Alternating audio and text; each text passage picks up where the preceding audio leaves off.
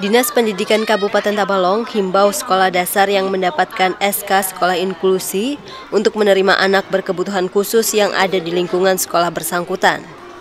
Kategori anak berkebutuhan khusus yang dimaksud adalah anak yang memiliki emosi labil, mengalami keterlambatan dalam menerima pembelajaran, dan penderita autisme. Seperti yang dijelaskan Kepala Seksi Kurikulum dan Penilaian Sekolah Dasar Dinas Pendidikan Tabalong Antung Hormansyah saat ini ada sekitar 40 sekolah dasar di Tabalong yang telah mendapatkan SK sebagai sekolah inklusi. Ada berapa sekolah tadi Pak? Jadi untuk jenjang SD ada 40 buah sekolah yang menyelenggarakan inklusi dan memiliki SK baik itu SK dari provinsi maupun SK dari kita Kabupaten Dinas Pendidikan. Ke-40 sekolah dasar yang mendapatkan SK sebagai sekolah inklusi sendiri tersebar di 12 kecamatan di Kabupaten Tabalong, baik di wilayah tengah, selatan maupun utara. Salah satunya seperti SD Negeri 58 Tanjung.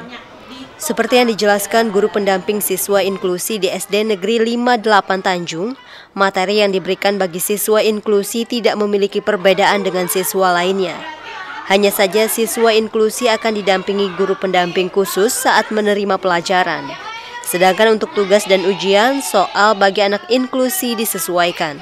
Antara ini kalau anak-anak itu kalau untuk kelulusan biasanya kami kalau memang dia kalau ada yang tidak mampu mengikuti ujian nasional, mereka guru di sekolah yang membikinkan soal untuk mereka. Jadi mereka melaksanakan ujian sekolah saja. Tetap sama satu luka sama yang ujian. Sama, sama. Dari total 629 siswa SD Negeri 58 Tanjung, terdapat 43 siswa berkebutuhan khusus dengan kategori ringan hingga sedang.